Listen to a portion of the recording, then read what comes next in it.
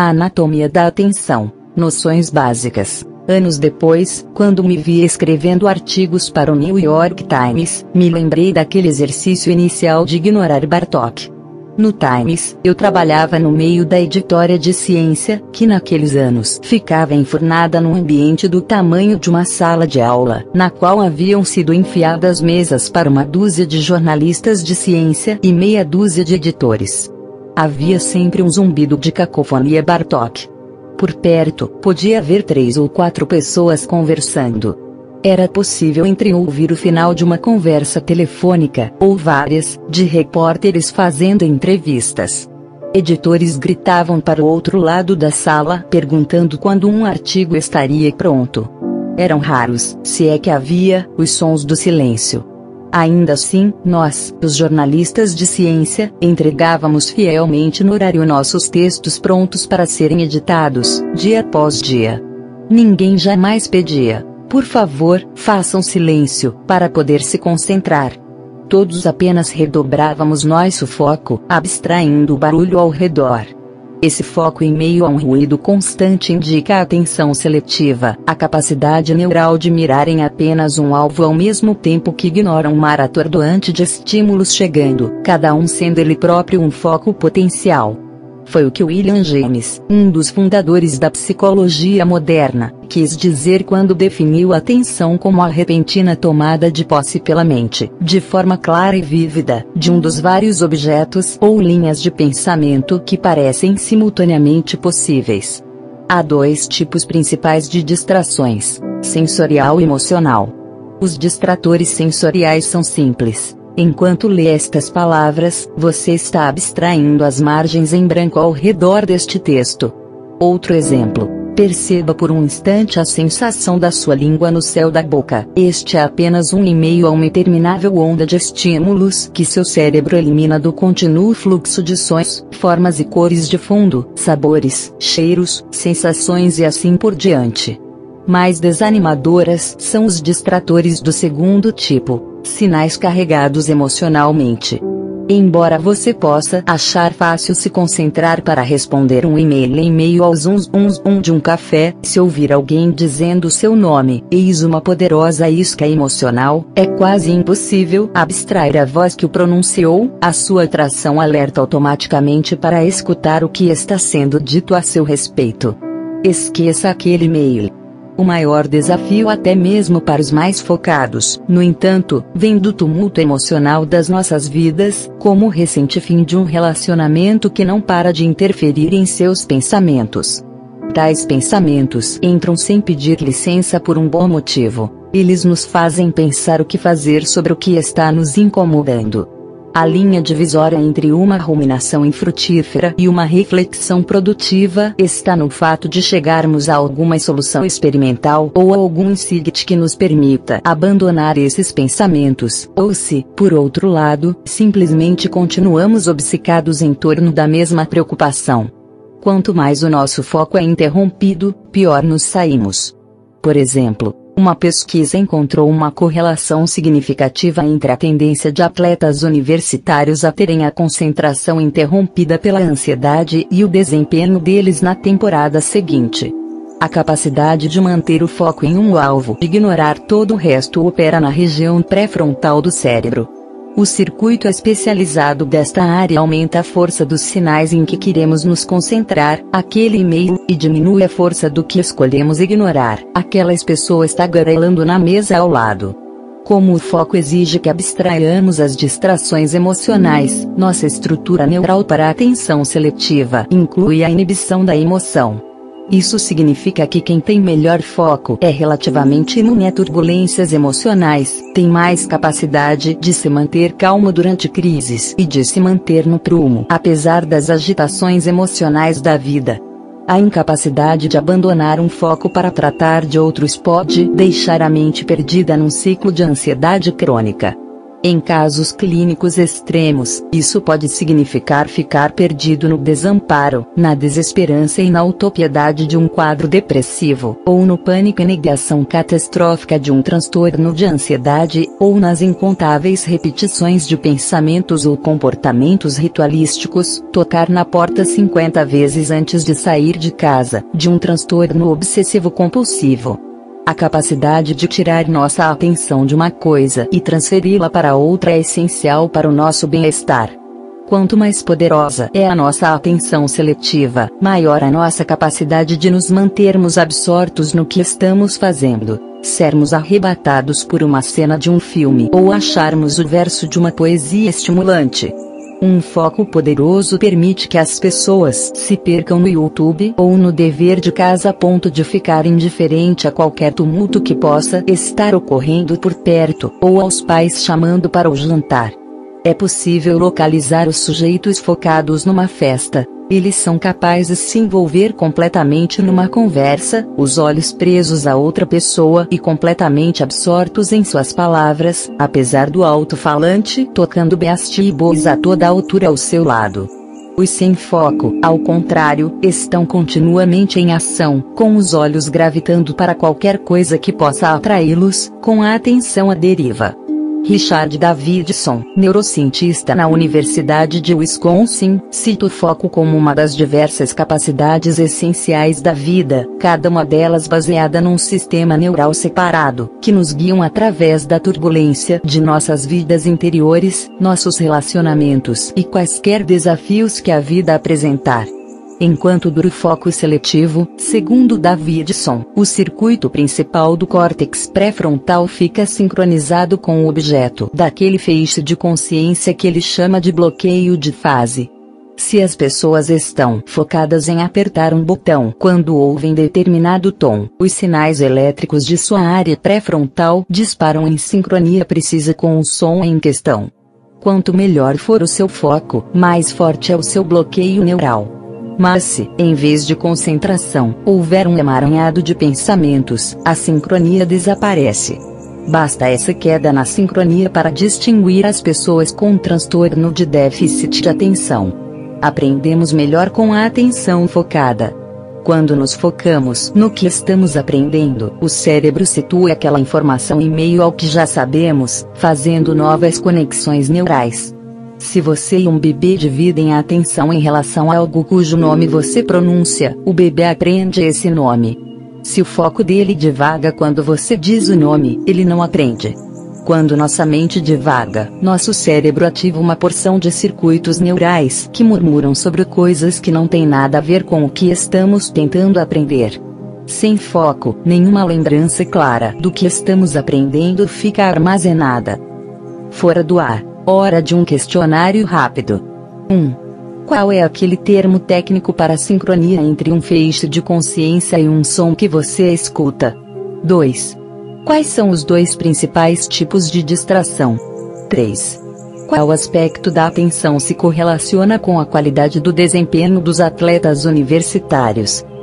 Se você consegue responder a essas três perguntas de cabeça, esteve mantendo o foco enquanto lia. As respostas estavam algumas páginas antes, e podem ser lidas no fim deste capítulo.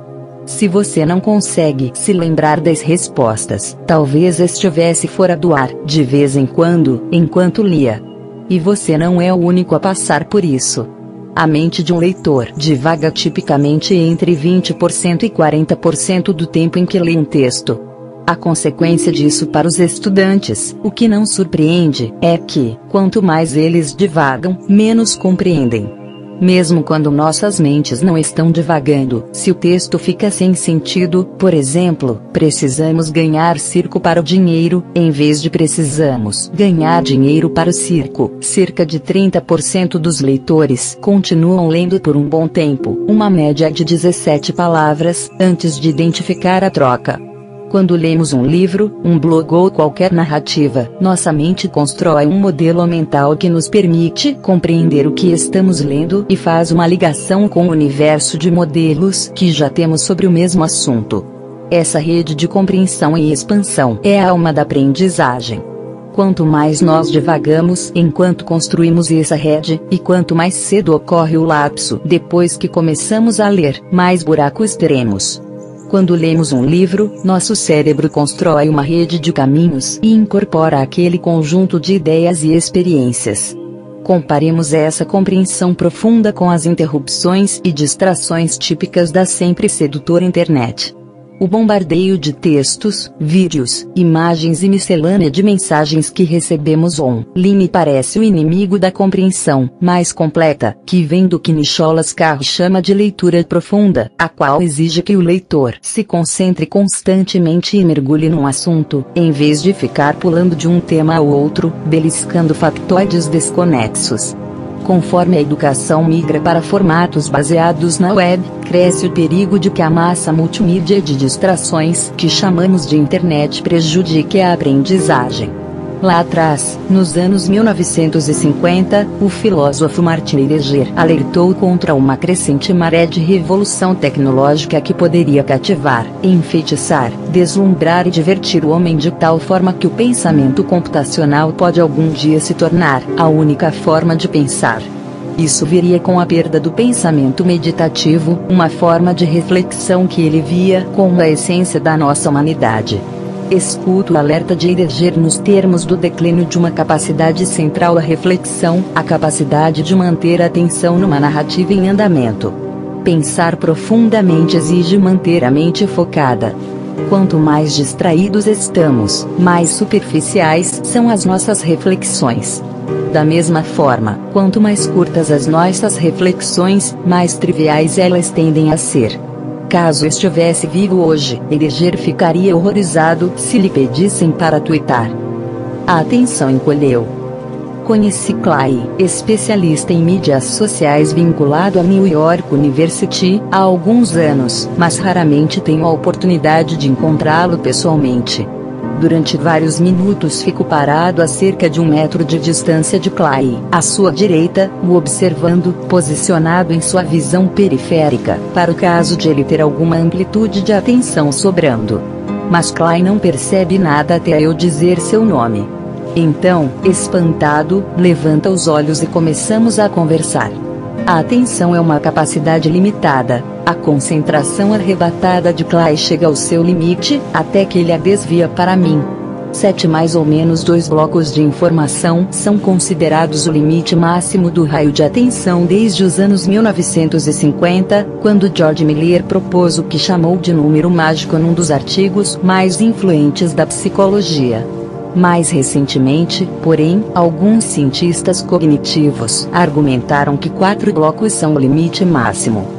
Isso chamou a atenção limitada do público, por um breve instante, pelo menos, quando o novo meme espalhou que a capacidade mental havia encolhido de 7 para 4 fragmentos de informação. Encontrado o limite da mente, quatro fragmentos de informação, proclamou um site de notícias científicas houve quem interpretasse a suposta redução do que podemos guardar na mente como indicativo da distração da vida cotidiana no século XXI, censurando o encolhimento dessa capacidade mental fundamental. Mas os dados foram mal interpretados. A memória de trabalho não encolheu, disse Justin Alberda, cientista cognitivo da Universidade Johns Hopkins.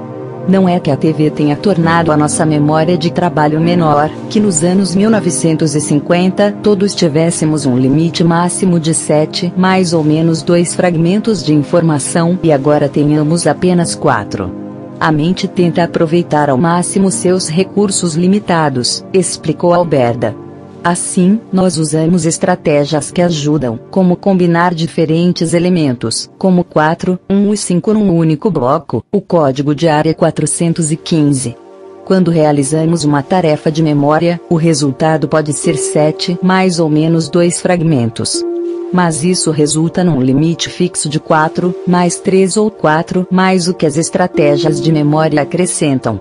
Assim, tanto 4 quanto 7 estão corretos, dependendo de como medimos então, ao que muita gente considera dividir a atenção em multitarefas, o que a ciência cognitiva nos mostra ser uma ficção também. Em vez de ter um balão da atenção elástico para usar em conjunto, temos um canal fixo e estreito para repartir. Em vez de dividi-la, nós, na realidade, trocamos rapidamente. Essa troca enfraquece a atenção do envolvimento completo e concentrado. O recurso mais precioso de um sistema de computador não é mais o processador, a memória, o disco ou a rede, mas a atenção humana, aponta um grupo de pesquisa da Universidade Carnegie Mellon.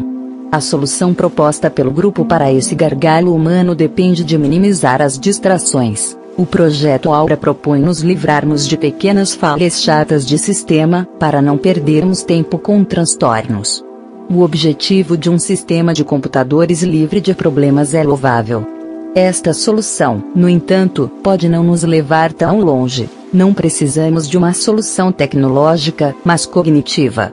A fonte das distrações não na tecnologia que usamos, mas no ataque frontal à nossa capacidade de concentração, por parte de uma crescente maré de distrações. O que me leva de volta a Kleischerk e especialmente a sua pesquisa sobre mídias sociais. Embora nenhum de nós possa focar em tudo ao mesmo tempo, todos juntos criamos uma amplitude coletiva de atenção que podemos acessar individualmente quando necessário. Como a Wikipédia, como Shirky afirma em seu livro Lá Vem Todo Mundo, a atenção pode ser vista como uma capacidade distribuída entre muitas pessoas, assim como a memória ou qualquer expertise cognitiva. Os temas da moda indexam como estamos alocando nossa atenção coletiva. Embora alguns argumentem que a aprendizagem e a memória facilitadas pela tecnologia nos emburrecem, também é possível afirmar que eles podem criar uma prótese mental que expanda o poder da atenção individual. Nosso capital social e o alcance da nossa atenção se amplia conforme aumentamos o número de laços sociais através dos quais recebemos informações essenciais, como conhecimento tácito de como as coisas funcionam por aqui, seja numa organização ou numa nova vizinhança. Conhecidos casuais podem funcionar como pares de olhos e ouvidos extras no mundo, fontes-chave da orientação de que precisamos para funcionar em complexos ecossistemas sociais e de informação. A maioria de nós tem um punhado de laços fortes, amigos próximos e de confiança, mas podemos ter centenas dos tais laços fracos, por exemplo, nossos amigos do Facebook. Laços fracos têm muito valor como multiplicadores da nossa capacidade de atenção, e como fonte de dicas para boas oportunidades de compras, possibilidades de empregos e parceiros amorosos. Quando coordenamos o que vemos e o que sabemos, nossos esforços conjuntos multiplicam nossa riqueza cognitiva. Embora a qualquer momento nossa cota de memória de trabalho se mantenha pequena, o total de dados que podemos transferir por essa amplitude limitada se torna imenso. Essa inteligência coletiva, a soma total do que todos podem contribuir num grupo distribuído, promete foco máximo, a soma do que múltiplos olhos são capazes de perceber. Um centro de pesquisa sobre inteligência coletiva do MIT vê esta capacidade emergente como incitada pelo compartilhamento da atenção na internet. O exemplo clássico: milhões de sites lançam seus destaques junto a pequenos nichos, e uma busca na web seleciona e direciona nosso foco de modo que podemos colher todo aquele trabalho cognitivo com eficiência. A questão básica do grupo do MIT como podemos conectar pessoas e computadores para agirmos coletivamente com mais inteligência do que qualquer pessoa ou grupo isolado? Ou, como dizem os japoneses, todos somos mais inteligentes do que qualquer um de nós. Você ama o que faz, uma pesquisa conduzida por Alan Gardner, de Harvard, William Damon, de Stanford, e Malik Csikszentmihalyi, de Claremont, se concentrou no que eles chamam de bom trabalho, uma mistura poderosa daquilo em que as pessoas são excelentes, do que as engaja e da sua ética, aquilo em que acreditam ter importância. Essas são vocações altamente absorventes. As pessoas amam o que fazem, absorção total no que fazemos é bom, e o prazer é o marcador emocional para a entrega. As pessoas raramente se entregam na vida cotidiana. Ao fazer amostragens aleatórias dos humores das pessoas, descobrimos que, na maior parte do tempo, elas estão ou estressadas ou entediadas, apenas com períodos ocasionais de entrega. Somente cerca de 20% das pessoas têm momentos de entrega pelo menos uma vez por dia. Aproximadamente 15% das pessoas jamais entram em estado de entrega durante um dia típico. Um segredo para se ter mais entrega na vida é alinhar o que fazemos com o que gostamos, como ocorre com aqueles felizardos cujos empregos lhes dão muito prazer. Pessoas de sucesso em qualquer área, os sortudos, de qualquer maneira, acertaram nessa combinação. Além de uma mudança de carreira, há vários caminhos para a entrega. Um desses se abre quando encontramos uma atividade que desafia nossa capacidade ao máximo, uma demanda apenas administrável pelas nossas competências. Outra porta de entrada se abre através daquilo porque somos apaixonados. A motivação nos faz fluir. De qualquer forma, o caminho final em comum é o foco total. São ambos caminhos para ampliar a atenção. Não importa como se chega lá, um foco equilibrado dá a partida na entrega. Esse estado ideal do cérebro para realizar bem um trabalho é marcado pela harmonia neural, uma interconexão rica de diversas áreas do cérebro. Nesse estado, os circuitos necessários para a tarefa em questão estão altamente ativos, enquanto os irrelevantes se mantêm inativos, com o cérebro precisamente direcionado às exigências do momento. Quando nossos cérebros estão nessa zona ideal, nos entregamos, desempenhando da melhor maneira possível qualquer que seja nosso objetivo. Pesquisas em locais de trabalho, no entanto, demonstram que um grande número de pessoas se encontra num estado cerebral muito diferente. Sonham acordadas, desperdiçam horas navegando na internet ou no YouTube e fazem o mínimo necessário. Sua atenção se dispersa. Tamanhas desmotivação e indiferença ocorrem em demasia, principalmente entre trabalhos repetitivos e pouco exigentes.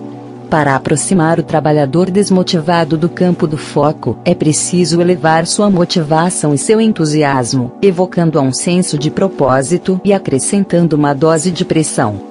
Por outro lado, outro grupo grande está preso no estado que os neurobiólogos chamam de exaustão, em que o estresse constante sobrecarrega o sistema nervoso com montes de cortisol e adrenalina. A atenção dessas pessoas se fixa nas preocupações, não no trabalho. Essa exaustão emocional pode levar ao esgotamento. O foco total nos dá uma entrada para a entrega. Mas quando optamos por nos focar em uma coisa e ignorar o resto, revelamos uma tensão constante, normalmente invisível, entre uma grande divisão neural, em que a parte de cima do cérebro briga com a parte de baixo. Hiperlink barra versa L bookmark 23 respostas. 1. Bloqueio de fase. 2. Sensoriais e E.